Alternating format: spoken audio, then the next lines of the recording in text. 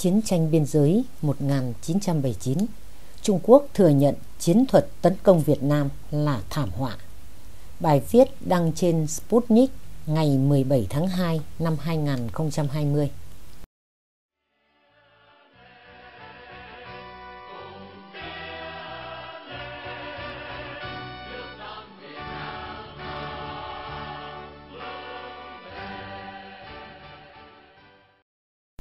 Vì sao quân đội Trung Quốc thất bại trong chiến tranh biên giới phía Bắc? Nhiều chuyên gia quân sự và học giả Trung Quốc đã lên tiếng thừa nhận chiến tranh biên giới Việt Trung thất bại với nhiều bài học và chiến thuật tấn công Việt Nam là thảm họa. Chiến tranh biên giới Việt Trung 1979 nổ ra như thế nào?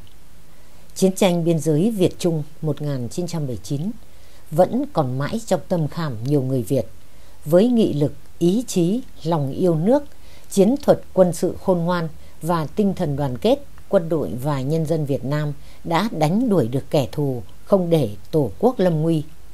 Chiến tranh biên giới 1979 hay chiến tranh biên giới Việt Trung năm 1979 nổ ra vào ngày 17 tháng 2 năm 1979 khi Trung Quốc đưa quân tấn công Việt Nam trên toàn tuyến biên giới giữa hai nước gồm 6 tỉnh với chiều dài 1.200 km.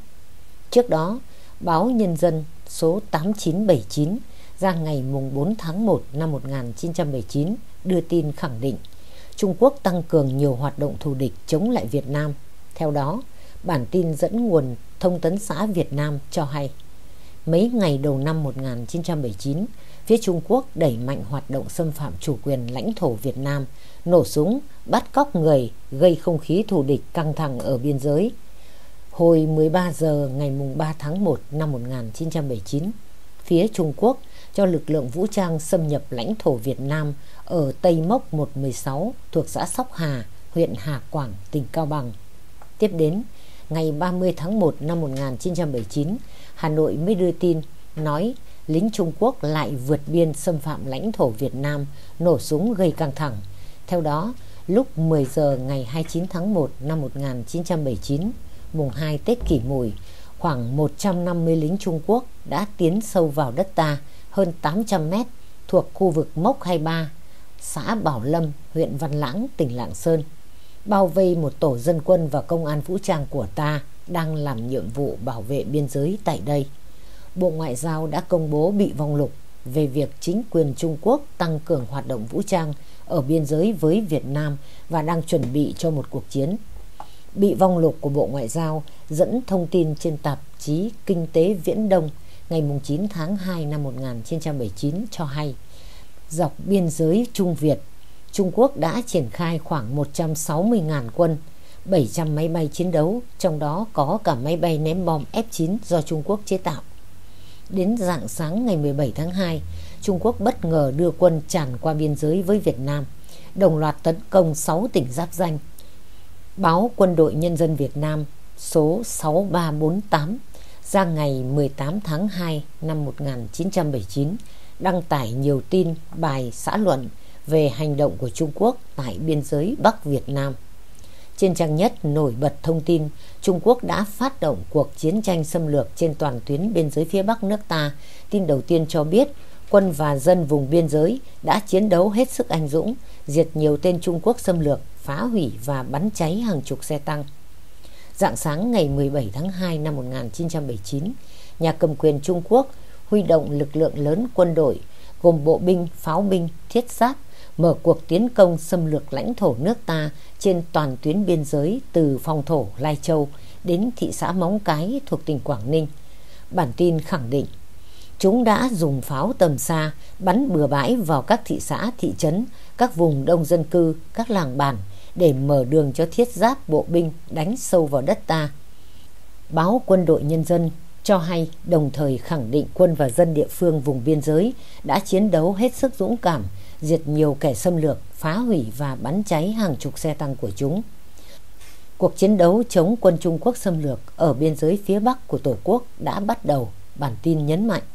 Trung Quốc thừa nhận chiến thuật tấn công Việt Nam là thảm họa. Cuộc tấn công tràn qua biên giới Việt Nam được chính quyền Bắc Kinh phát động và hơn 60 vạn lính Trung Quốc dưới sự yểm trợ của gần 800 xe tăng, xe bọc thép, pháo, trang vũ khí thiết bị hiện đại xâm phạm danh giới Việt Nam ngày 17 tháng 2 năm 1979. Quân đội và nhân dân Việt Nam quyết liệt chống trả, thà hy sinh thân mình để bảo vệ Tổ quốc.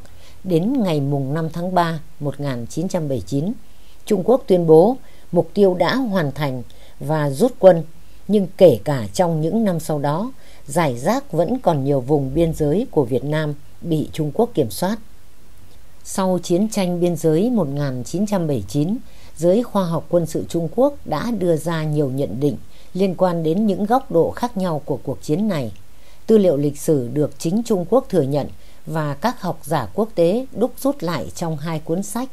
Những bài học lịch sử, Quân đội Giải phóng Nhân dân Trung Quốc kỷ niệm 75 năm của nhóm tác giả Larry Moses, Laura Bukit và Andrew Scobell và anh em kẻ thù, chiến tranh nối tiếp chiến tranh của Nainan Chanda do trí thức trẻ dẫn lại phản ánh những bài học nguyên nhân vì sao chiến thuật quân sự của Trung Quốc không hiệu quả đối với quân và dân Việt Nam.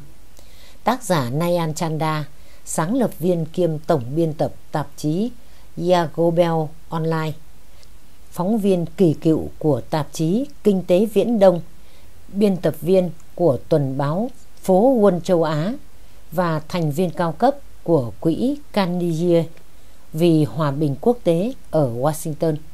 Trong cuốn anh em kẻ thù, chiến tranh nối tiếp chiến tranh, dưới góc nhìn của nhà báo am tường lịch sử phương Đông cũng như vốn hiểu biết phong phú về cuộc chiến tranh biên giới phía Bắc năm 1979, tác giả Chanda đã chỉ ra những bài học và thất bại của Bắc Kinh phải trả giá qua cuộc chiến tranh phi nghĩa. Theo nhà báo Naya Chanda, Bắc Kinh đã thực hiện chiến thuật tấn công xâm lược Việt Nam theo cách mà Vương triều nhà Thanh thực hiện năm 1788 nhưng sử dụng vũ khí của thế kỷ 20. Do đó thất bại là điều đã được báo trước với quân đội Trung Quốc. Trong cuốn Những bài học lịch sử, Quân đội Giải phóng Nhân dân Trung Quốc kỷ niệm 75 năm của nhóm tác giả Larry Wonzet, Laura Bukit và Andrew Scott Bell. Nhóm tác giả bình luận rằng theo mệnh lệnh cấp trên, giáo viên và học sinh trường quân chính quân khu Quảng Châu đã tham gia các quân đoàn tấn công Việt Nam từ tỉnh Quảng Tây do Hứa Thế Hữu, tư lệnh Đại quân khu Quảng Châu chỉ huy. Số cán bộ và binh lính thuộc trường quân chính này được biên chế cho quân đoàn 41 và 42 trong quá trình tấn công vào Cao Bằng và tham gia quân đoàn 43 và 55 khi tấn công Lạng Sơn.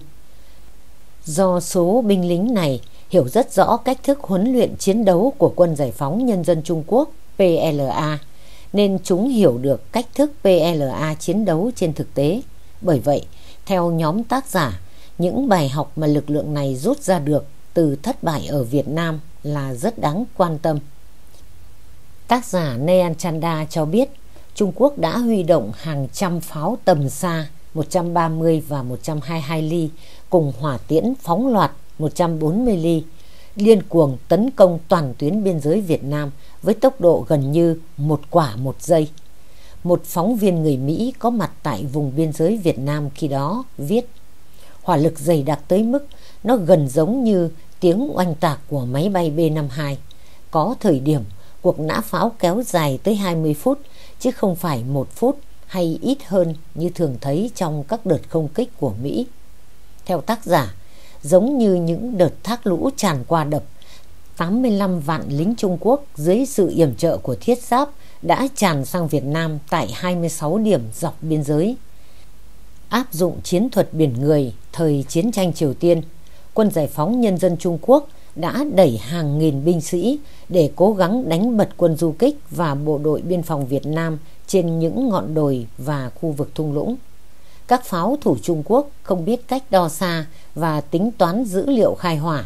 Hệ quả là pháo binh Trung Quốc không thể yểm trợ gián tiếp một cách hiệu quả. Hỏa lực pháo binh Trung Quốc chỉ giới hạn ở những vụ tập kích ồ ạt quy mô lớn vào các cấu trúc địa hình rộng lớn hoặc bắn không chính xác vào các mục tiêu nhỏ hơn. Trung Quốc rõ ràng không có một quy trình chỉ huy chiến đấu. Do đó, pháo binh nước này chẳng hơn là pháo binh thời Napoleon hay thời kỳ đầu của cuộc nội chiến nước Mỹ. Học viên trường quân chính quân khu Quảng Châu thừa nhận. Chính Bắc Kinh sau đó đã thừa nhận chiến thuật này là một thảm họa. Trung Quốc không hiểu gì về sức mạnh quân sự của Việt Nam. Bên cạnh đó, theo các học viên và sĩ quan trường quân chính quân khu Quảng Châu nhận định, lính Trung Quốc đã sử dụng những chiến thuật bộ binh sơ đẳng kém cỏi. Mặc dù bộ binh Trung Quốc có thể gây những thương vong lớn, nhưng các đợt tấn công ồ ạt vốn được giới quân sự Trung Quốc ưa chuộng luôn phải chốt lấy những thất bại. Bài học tiếp theo mà các học giả quốc tế thừa nhận đó chính là dù Trung Quốc có số quân chiếm áp đảo nhưng Việt Nam lại tận dụng được điểm yếu này của Trung Quốc khi xây dựng các hệ thống hầm hào vững chắc và cài mìn xung quanh đó. Theo đó, trong các chiến dịch tấn công, học viên của trường quân chính quân khu Quảng Châu nhận thấy rằng các binh lính PLA ít nhất là những lính thuộc quân đoàn 43 không thể phát hiện và tháo rỡ các bãi mìn. Trong khi đó, theo Chania Nanda, quân đội Trung Quốc đã không lường trước được sự lợi hại về hệ thống hầm hào và công sự chằng chịt mà phía Việt Nam đã xây dựng từ trước để bảo vệ vùng biên giới. Đặc biệt, theo báo cáo từ trường quân chính quân khu Quảng Châu, người dẫn đường tên là New Chen Jiu nhận thấy khi tiến công Việt Nam, cả một trung đoàn Trung Quốc không thể thực hiện được nhiệm vụ vì các chỉ huy đơn vị có kiến thức nghèo nàn về địa hình, địa mạo cũng như khả năng đọc bản đồ yếu kém. Thông tin trên sau này được chính học giả gốc Trung Quốc Sao Minh Giang khẳng định thêm trong bài báo xuất bản năm 2015 có tựa đề Chiến tranh Trung Quốc với Việt Nam năm 1979, sự đánh giá lại. Theo học giả Sao Minh Sang, các đánh giá về địa lý và địa hình của quân giải phóng nhân dân Trung Quốc ở miền Bắc Việt Nam thường dựa trên những bản đồ và thông tin địa lý đã lỗi thời, trong khi khả năng trinh sát chiến trường lại rất hạn chế. Một trong những sai lầm của quân Trung Quốc là đánh giá sai về lực lượng dân quân đông đảo khi dự đoán về sức mạnh quân sự Việt Nam. Dân quân Việt Nam đã thể hiện sức đề kháng không hề nao núng và thực hiện các cuộc tấn công bất ngờ cản đường quân xâm lược. Học giả Trung Quốc nhận định, ban đầu giới lập kế hoạch quân sự PLA tin rằng họ đã tập hợp được một lực lượng vượt trội với tỷ lệ 8:1 để tấn công Việt Nam. Thế nhưng trên thực tế, chỉ tính riêng tại Cao Bằng đã có 40 đến 50 ngàn dân quân, khiến tỷ lệ lực lượng Trung Quốc chỉ còn hơn Việt Nam là 2-1. Chỉ trong vòng 3 ngày lâm trận, Trung Quốc đã phải gánh chịu những thiệt hại nặng nề với số thương vong rất cao do hàng ngàn binh lính bị chia cắt bởi hệ thống súng máy bắn từ các công sự chiến đấu và dính mìn. Các học giả cho biết quân đội Trung Quốc tổn hại nặng nề vì quá lạc hậu.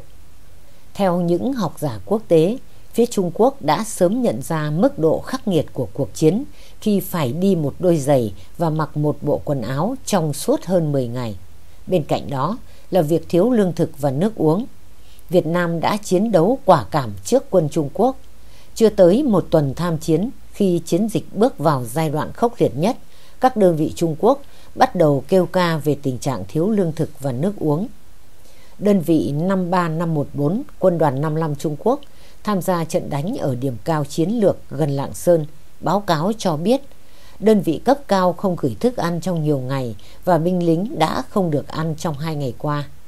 Đơn vị 53515 cũng báo cáo về tình trạng thiếu hụt lương thực và thức uống tương tự. Trên thực tế, hệ thống hậu cần của Trung Quốc mặc dù tuyến tiếp ứng chỉ cách Việt Nam 4 năm cây số, cách đường dây bằng tường chỉ chưa tới 30 km, rõ ràng đã thất bại. Tình trạng này xảy ra ở gần Lạng Sơn, nhưng hệ thống hậu cần yếu kém đã gây ra những sự vụ tương tự ở các địa bàn khác như Lào Cai hay Cao Bằng.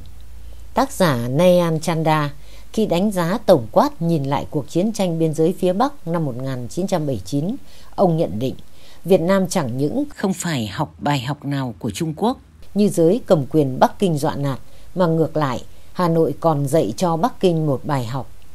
Quân đội Trung Quốc khi đó thực tế không đủ khả năng và trình độ để thực hiện một cuộc chiến tranh hiện đại. Những tổn thất nặng nề mà họ phải hứng chịu trong cuộc chiến cũng như sự thất bại về vũ khí và chiến thuật là lời cảnh báo về sự lạc hậu của quân đội Trung Quốc. Tác giả Nayan Chanda khẳng định. Chia sẻ về cuộc chiến biên giới phía Bắc 1979, Trung tướng Nguyễn Hữu Khảm, nguyên Phó Tổng Tham mưu trưởng Quân đội Nhân dân Việt Nam, nguyên Sư đoàn trưởng Sư đoàn 316, người lính chiến dày dặn kinh nghiệm. Ông đã có 10 năm chiến đấu tại biên giới phía Bắc 1979-1989, chia sẻ chính sự quyết tâm, anh dũng trong chiến đấu mà quân và dân ta đã bảo vệ từng tấc đất của Tổ quốc. Chiến tranh, nước mắt và đau thương. Để bờ cõi miền biên viễn được bình yên, hàng nghìn thanh niên trai tráng, bộ đội, quân và dân ta đã ngã xuống. Tất cả một lòng vì tinh thần quyết tử cho Tổ quốc quyết sinh. Những ngôi mộ liệt sĩ chưa biết tên đã làm nên tên tuổi của một dân tộc Việt Nam anh hùng. Chúng ta không bao giờ tạo ra những hận thù, cũng không bao giờ gây ra thù hận lâu dài, nhưng chúng ta không được quên lãng và lãng quên những bài học của lịch sử. Không bao giờ được quên bài học của tình quân dân, tình đoàn kết vượt qua mọi kẻ thù. Trung tướng Nguyễn Hữu Khảm nhấn mạnh. Win Win Việt Nam trân trọng cảm ơn quý vị và các bạn đã quan tâm theo dõi. Xin kính chào tạm biệt và hẹn gặp lại.